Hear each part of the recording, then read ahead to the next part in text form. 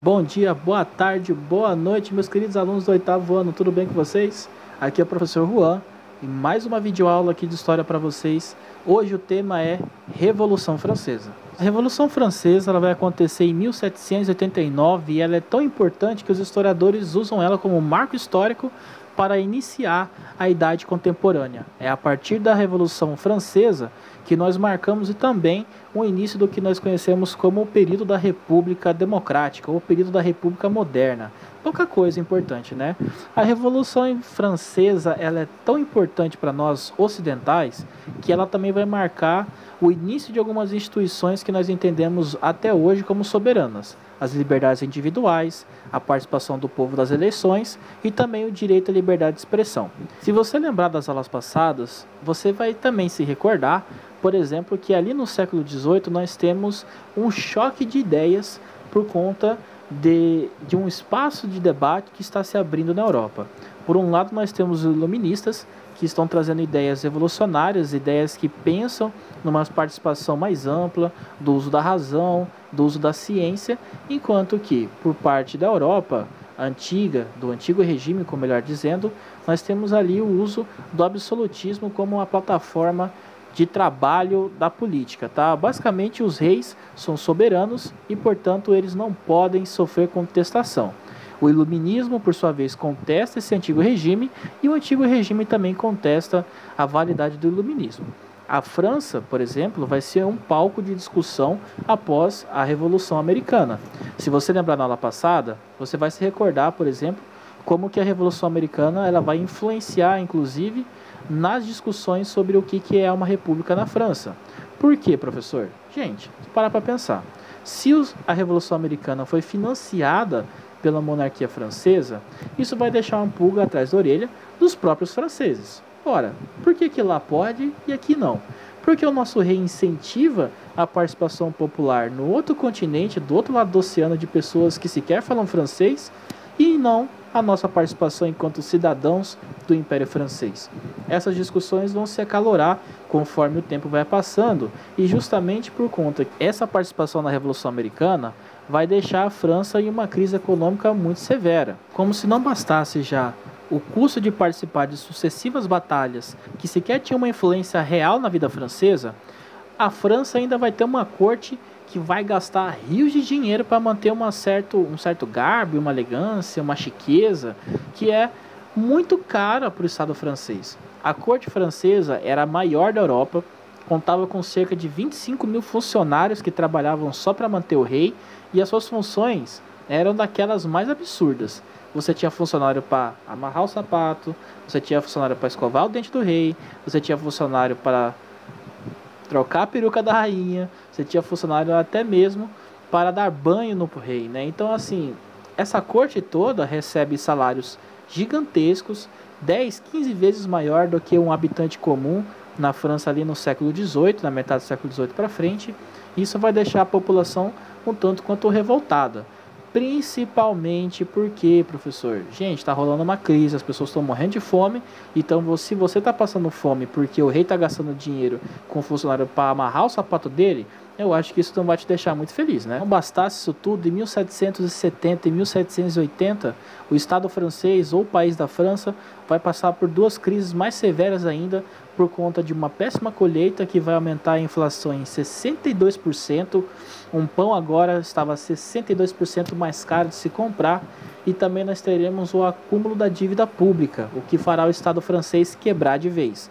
Só que a questão aqui é como que o rei vai lidar com essa crise. O Luís XVI, ao invés de investir e amparar a população, ele vai continuar com a sua corte muito bem, obrigado, mantendo ali os funcionários para amarrar o sapato dele, enquanto que o povo está passando fome, a França está passando por um processo de desindustrialização, as indústrias estão indo embora da França ou estão fechando, e simplesmente a França está entrando em uma decadência visível a todo mundo. Obviamente, é o terceiro estado que vai ser mais afetado por essa crise. Gente, o terceiro estado é todo mundo que não é nobre ou não é da igreja. Basicamente, burgueses, sons culote, plebeus, camponeses, trabalhadores das fábricas, enfim, várias funções que nós temos aqui muito hoje normalmente né, encontradas na sociedade urbana, mas que na época eram regimentadas através do terceiro estado. E ali em 1780, a burguesia francesa está em seu ápice, está ganhando muito dinheiro, principalmente pela venda de champanhe. Sim, o champanhe é um, dava muita grana na época, e os tecidos que vinham da região de Flandres, que faziam comércio com a Inglaterra. E essa burguesia ela é muito mais próxima aos ideais iluministas por razões óbvias. Né? Os, se os ideais iluministas dizem que você não tem que pagar mais imposto para o rei, que o rei é uma figura fictícia, que o poder pertence ao povo e qualquer um pode governar o país, isso é, soa muito mais agradável aos burgueses do que aos nobres que pela lei absolutista, um direito de nascença, a receber imposto da burguesia e ser mantido pelo Estado francês, não importa o que aconteça. O rei, percebendo então uma crise que não haveria forma dele sair dela, ele convoca as Assembleias Gerais de 1780. Agora, essas Assembleias Gerais vão dar, na verdade, mais fogo ainda para a palha, por conta de que a burguesia veio para pedir novos direitos e uma reivindicação sobre a redução de imposto que eu já havia falado.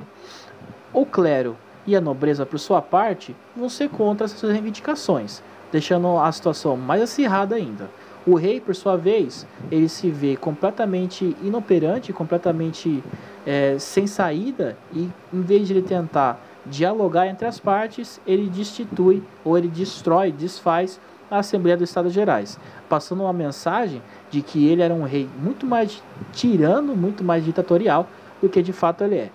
Fato é, gente, o Luís XVI, em comparação ao Luís XIV, ele era um cara pouco capaz de seguir a função de rei. Enquanto Luís XIV foi considerado o ápice do absolutismo como o rei mais poderoso de todos, né? o rei Sol, l'estate moi, o Estado sou eu, Luís XVI ele era uma pessoa que era muito mais voltada aos prazeres da vida do que à arte de governar. Prova dessa incapacidade é quando o esperto chama uma Assembleia Nova em 1789 e ele coloca as pautas para votação. Só que em vez de ele fazer a votação de uma forma mais justa, né, colocar cada representante ali tem direito a um voto, ele vai colocar o voto por meio de representação. Oh, meu Deus do céu. O que, que significa isso, Juan? Basicamente, um voto da nobreza equivale a mil votos do terceiro estado. Um voto do clero equivale a cinco mil votos do estado. Então não havia forma possível do terceiro estado, da burguesia, dos plebeus, ganharem qualquer reivindicação. Os votos deles, mesmo todos somados e unânimes, era muito menor do que a votação do terceiro, do segundo e do primeiro estado, que são o clero e a nobreza. A revolução também ela vai ser agitada, ou ela vai ser levantada por três grandes nomes da Revolução Francesa e três burgueses principalmente, né? Eu vou falar cada um deles aqui e vou baixando um dedinho aqui para cada um que vocês ouvirem, tá? Vamos lá. O primeiro deles é o Marat. O Marat ele era publicitário ou jornalista, se você achasse melhor. Ele tinha um, um jornal chamado A Voz do Povo, La Voix du Peuple Segundo é o Danton, que era advogado e também trabalhava no espectro trabalhista, ele fazia parte de alguns sindicatos ali na época, principalmente voltando para o sindicato das fábricas. E o terceiro é o mais famoso de todos, que é o Robespierre. O Robespierre, Maximilien Robespierre, ele era também advogado, já tinha trabalhado em uma família de, de juristas na França, geralmente quem era juiz era nobre, então ele era muito conhecido tanto pela nobreza quanto pelo terceiro estado.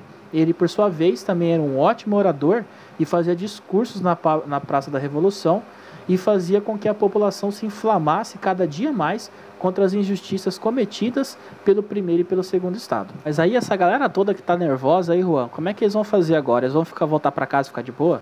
Negativo.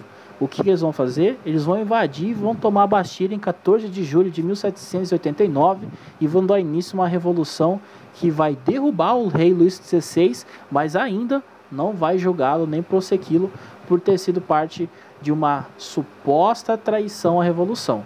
O Robespierre, ele muito esperto, entende que o rei primeiro tem que ser julgado por um crime que ele cometeu. Ele não pode ser julgado por apenas ser rei. Afinal de contas, ele nasceu assim. E se nós estamos pensando em uma sociedade que quer a inclusão de todos, isso também vai levar em consideração aqueles que nascem em camadas mais abastadas da sociedade francesa. E aí, após uma série de batalhas, em 1791, a França vai declarar que agora ela é uma república constitucional e vai aprovar a sua primeira e única constituição até os dias atuais. Nessa constituição vai ficar assegurado o voto censitário, a igualdade de direitos, tanto para homem quanto para as mulheres, só que ainda vai ter uma relação ali que não vai ser inclusa. Só mais tarde vai ser colocada na Constituição, acho que em 1986, a participação e a equidade do povo negro na França, tá? A questão aqui, principalmente, pessoal, que eu quero dizer, a Revolução Francesa ela é tão, tão diferente das outras que, por exemplo, ela não tem um ponto final ali no momento da vitória, né? Quando a Constituição é aprovada, na verdade, a ala mais radical, que ficava à esquerda do parlamento, daí que vem a nossa distinção entre esquerda e direita, os jacobinos ficavam à esquerda e os loyalistas ficavam à direita, é, essa discussão ela vai ser elevada, ela vai para um novo patamar de violência. Os jacobinos, que eram mais radicais, eles diziam que não bastava uma constituição, que todos os traidores, olha só, lembra que eu falei da traição ali da, da revolução? Todos os traidores da revolução deveriam ser executados. Eu já ia me esquecendo mas tem uma relação aí entre o início do terror e a morte dos três protagonistas da Revolução Francesa. O Marat, o Danton e o Robespierre vão protagonizar situações mais complicadas que a gente pode pensar enquanto Revolução Francesa.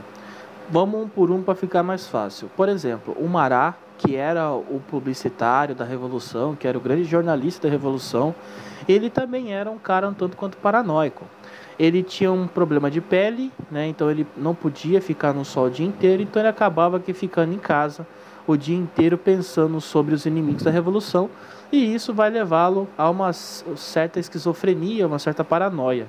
O Marat era responsável também de procuração e aprisionamento dos antirrevolucionários, ou seja, bastava que você levasse para ele uma denúncia, ele investigaria e aí ele prenderia essa pessoa que alegadamente era contra a revolução. O problema é que o Mará nem sequer investigava, ele bastava receber uma denúncia que ele já publicava como inimigo da revolução e mandava prender e executar na guilhotina. Essas relações de acusação vão ser tão banais que chega ao nível de usarem isso a favorecimento próprio. Imagina só, é, temos um caso relatado historiograficamente, onde um marido né, com a sua esposa são acusados de serem antirrevolucionários porque o vizinho estava interessado na propriedade deles. Então, quando eles são acusados, eles são presos e mortos, o vizinho simplesmente vai lá e compra a propriedade por estar vazia. Vocês terem ideia como que a relação entre o Mará e a sua paranoia vai influenciar inclusive a imagem do regime da Revolução Francesa dentro da própria sociedade francesa. Por fim, o Maralho vai ser assassinado né, por uma dissidente que vai pensar isso como uma forma de vingança, porque o seu irmão foi assassinado pela Revolução, e assim também morre o Mará. O Danton, por sua vez, ele já também vai ser um, um, cara que vai ser traído pelo Robespierre. O Danton ele não concorda com essas medidas muito radicais, muito drásticas do Robespierre, e ele acaba sendo preso sob a acusação de ser antirrevolucionário. Sim, ele que era um dos grandes revolucionários, um dos pioneiros e pensadores da Revolução Francesa antes de todos. Ele, inclusive, vai ter um problema que não vai ser permitido que ele dê os discursos que ele era tão conhecido como, e ele vai acabar indo para a guilhotina igual a qualquer outro antirrevolucionário. E o Robespierre, a mesma coisa. Ele começa a ficar completamente paranoico, começa a acusar pessoas que não têm nenhuma relação com algum movimento antirrevolucionário e por fim ele acaba sendo julgado como inimigo da nação francesa e executado na guilhotina igual o rei seria também. E o rei, quando escuta toda essa história, o que, que ele faz? Ele foge ou pelo menos ele tenta. Ele se disfarça em uma carruagem e tenta fugir da França para a Prússia e para a Áustria, onde ele haveria parentes para poder acomodá-lo e dar um suporte, quem sabe ele tomar o poder de novo. Aí sim, o Robespierre diz que ele está fazendo um crime de fugir da, da prata francesa para poder conspirar com inimigos da Revolução. Portanto, ele é julgado e logo mais ele é executado em 1793. Beleza, Juan, então agora acabou, né? Tá tudo certo, vamos tudo certo. Não, não acabou, não acabou. O que acontece agora depois da morte do rei? Inicia-se um período muito sinistro na França, que é conhecido como o período do terror.